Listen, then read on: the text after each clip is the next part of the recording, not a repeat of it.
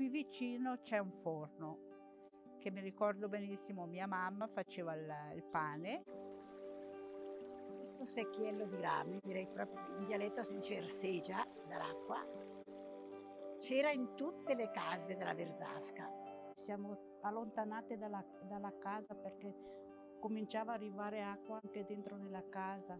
Al centro c'è il nonno paterno che prima ha fatto lo spazzacamino per tanti anni e poi dopo se n'è andato oltremare come adesso chiamerebbero cowboy